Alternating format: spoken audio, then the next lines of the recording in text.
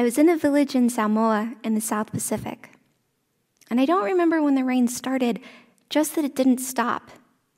For more than a, a month, 24 hours a day, it just kept coming. The rivers rose, and soon no one or nothing could come in or out. We were just there in the flood. Have you or a loved one ever been affected by flooding? Think about it. Chances are, based on statistics, you or someone you know has been impacted by flooding. There's a powerless feeling in a flood. You can't stop the rivers from rising. But for the first time, we're in a place where we can shift the power paradigm of flooding.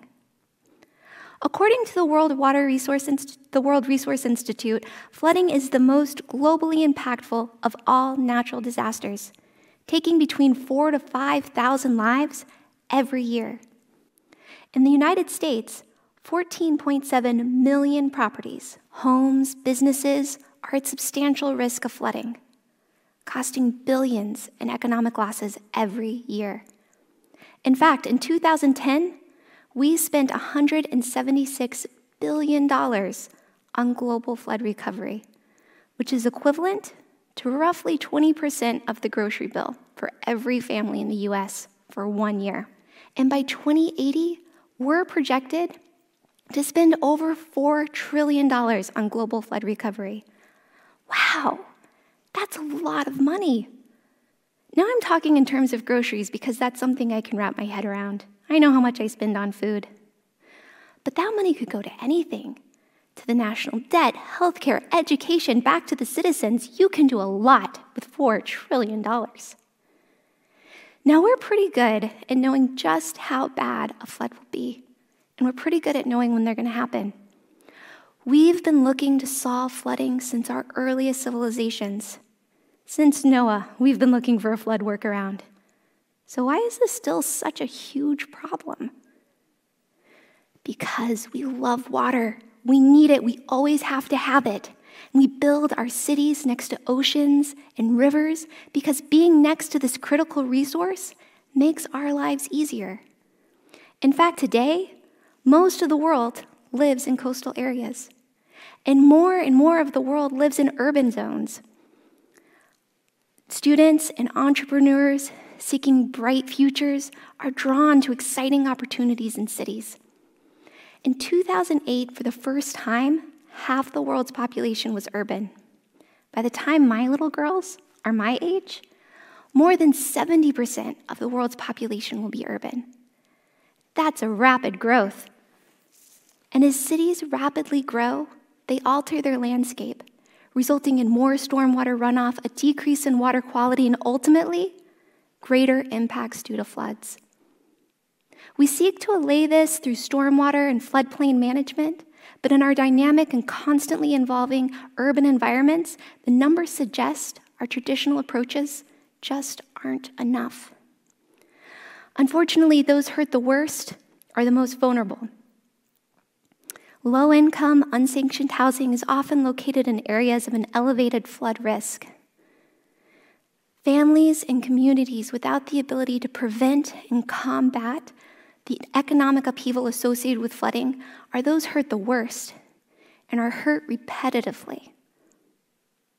This is a global challenge. And I saw this stranded in the village of Samoa, where those same floodwaters destroyed crops, flooded markets, and shut down businesses. I took this picture in Vanuatu, where this recently washed out bridge had previously connected communities to their farms and schools. Living in Thailand and working in Vietnam and Cambodia, seasonal urban flooding made daily activities like commuting not only a challenge, but risky. Floodwater's not clean. This was reinforced this summer when 63 million people in Southeast Asia were affected by floods. I saw this working in Afghanistan, where the dry climate is perfect for flash floods. Lack of resilience, rapid urban growth, and flood frequency have unfortunately made Afghanistan one of the world's leaders in deaths per capita due to flooding, on top of dealing with decades of war This was reinforced in the spring and summer of 2020 when thousands lost their homes and hundreds lost their lives in flooding in Afghanistan. And I saw this working in projects in Kenya, Sierra Leone, Paraguay, Haiti. But we see this in our own hometowns. We see this in Philadelphia when we drive around after a storm or when we cross Lancaster Avenue near Villanova. We've seen this when the Mississippi River floods. We've seen this in hurricanes like Harvey, Katrina, and Sandy. We saw this this summer in Isaias, and we will see this again. This is a challenge that unites us. And these are challenging times, but they're interesting times. Sir Isaac Newton said, If I've seen further, it's because I've stood on the shoulder of giants. And from the shoulders of giants, we can see the world like we've never seen it before. This is an image taken by the astronauts of Apollo 17. They were some of the first to see our whole Earth. Our beautiful, lonely planet had just been revealed. By 2029, 57,000 satellites will orbit our planet, generating hundreds of terabytes of Earth data every single day.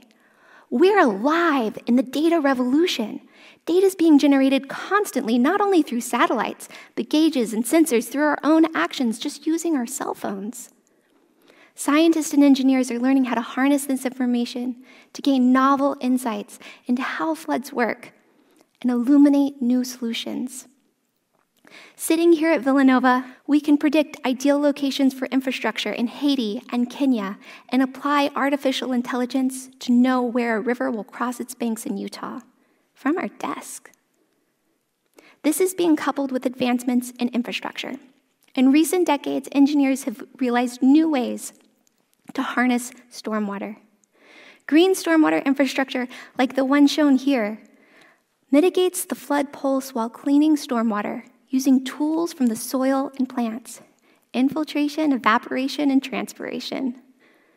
This has been shown to be effective and efficient in meeting federal water regulations and is surprisingly cost effective too. Although this is a fairly new type of infrastructure, it's revolutionizing the urban landscape. In Philadelphia, in just 10 years, thousands of green stormwater systems have been implemented, taking the city from being one of the worst offenders of water quality to a global leader. And they're not alone. Similar programs exist in New York City, Portland, Detroit, and many, many others. And the success of these programs has fueled global popularity. But the benefits aren't just limited to stormwater, but extend to community health and well being, environmental restoration, and floodplain management.